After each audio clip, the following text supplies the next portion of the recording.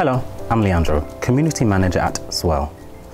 In e-commerce, there's always been this classic tension between getting your site up and running quickly and keeping things flexible as your business needs grow. Today, I'm going to show you how one of our merchants achieves this balance. But first, some context. Historically, we were forced to either build our own custom solution and therefore reinvent the wheels of commerce, or be beholden to an opinionated, rigid solution. Next.js and the Commerce Starter Kit provide the necessary framework. What's still required is an e-commerce platform that matches the flexibility of Next.js. Even if the platform has a headless option, the API might not have full access to the things you want, or you are not able to use it the way you want to. Here's how Villabici, one of our merchants, gets their Next.js site up and running quickly whilst maintaining the flexibility to add on new features. This store has all of the great out-of-the-box features you've come to expect with Next.js, like static site generation for example.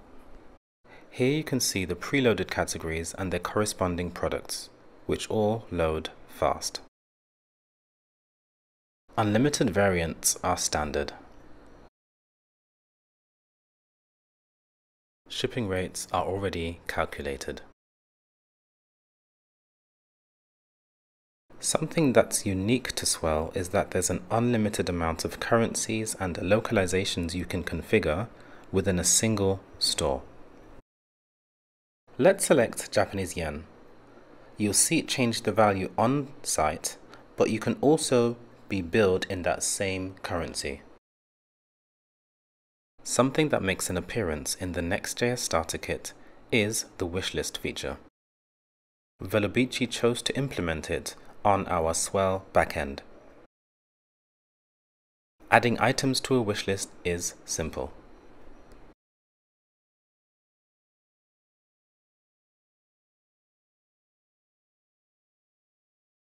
Everything on the wishlist is reflected on a custom model on the Swell backend. You can also see the raw JSON model.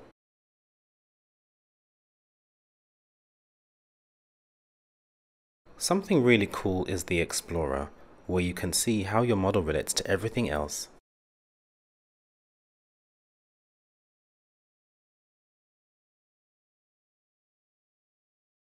You can create custom models like product comparisons. Using a coffee quiz as an example, you can see how an API endpoint is automatically generated.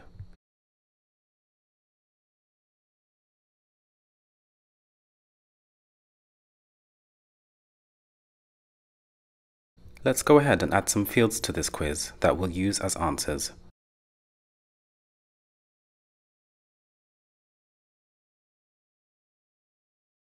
Things like number of cups a day,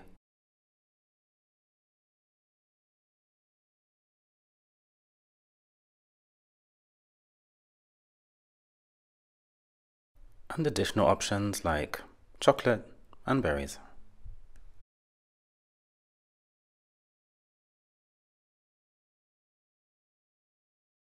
Something else you might want to add in a scenario like this is a lookup to your customer.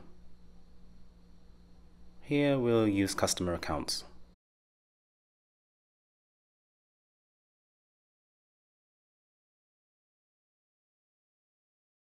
Nice! Now we have our coffee quiz.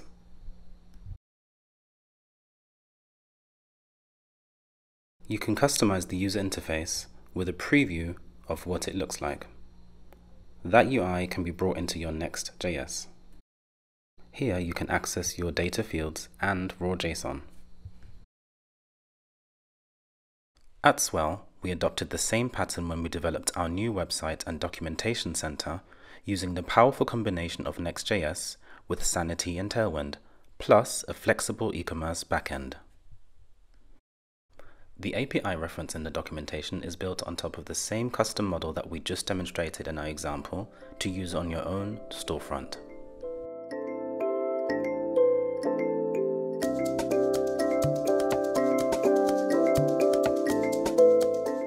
We're always pleasantly surprised to see what the community creates and can't wait to see what you come up with next.